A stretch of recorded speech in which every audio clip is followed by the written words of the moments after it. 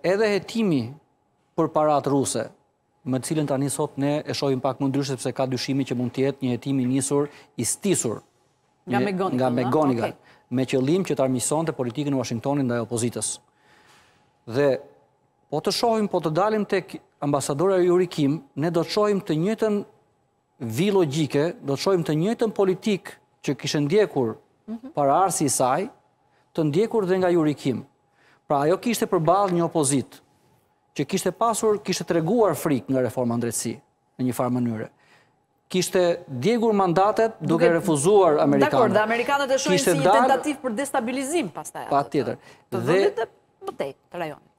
Po. Dhe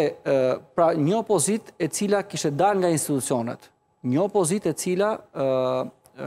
dukej sikur ishte jashtë kontrollit dhe që kishte dyshime që se kishte bashkëpunuar me rusët dhe ishte në kulmin e shqetësimeve amerikane për influencën ruse në Ballkan. Dhe ne kemi dëgjuar vetë Kryeministrin Rama që me rusët i bënte presion dhe Bashkimit Europian Doni të na integroni apo do na marrin rusët dhe kinezët? Pra ishte, kjo ishte dialektika e përdorur në atë kohë. Kështu që në këtë në këtë këndvështrim Juri Kim ndoqi këtë lloj politike. Ajo çfarë thotë Lela, te mënyra se si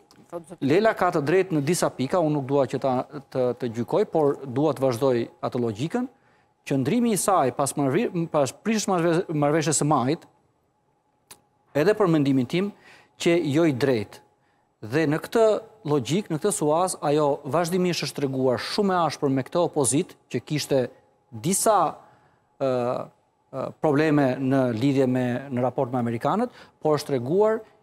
shumë e butë me qeverinë, me qeverinë, me qeverinë dhe kur ka kritikuar qeverinë, e ka kritikuar nominalisht ka kritikuar ministra të caktuar nominalisht, por jo qeverisjen në tërësi.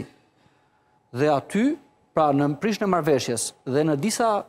deklarata të tjera, ku është shfaqur më e ashpër me opozitën sesa me pushtetin, ndërkohë që ne, pritshmëria jonë, perceptimi ynë ishte që Ambasadorja amerikane, meqë ne kemi përfshirë kaq shumë, meqë ne kemi aleat strategjik, meqë ne na bëri dhe reformën drejtësi na e solli në në tavë dhe na tha firmoseni në rresht për 140. Pra,